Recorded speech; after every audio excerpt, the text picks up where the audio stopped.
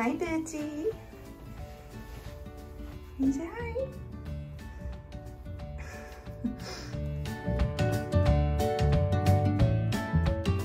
Now, this endearing little chap is around three years old.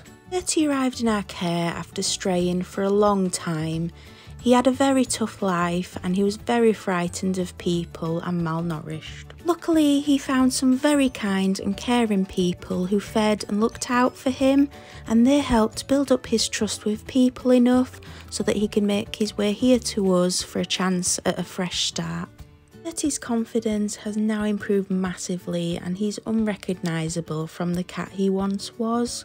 He's a real sweetheart and he's always happy to see you and he's extra endearing with his little love heart shaped nose. Bertie is so full of life and character and is super friendly and affectionate.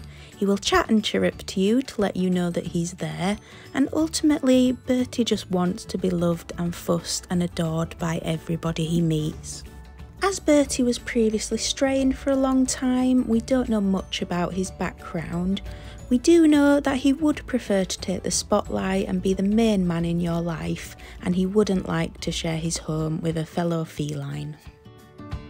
Bertie very much deserves a fresh start after a tough time, and he would make the most wonderful companion and friend for life we're sure there is someone out there with a little Bertie shaped hole in their lives that can offer this little superstar the second chance he deserves.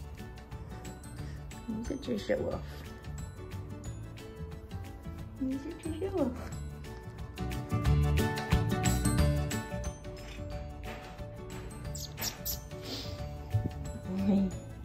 What are you doing?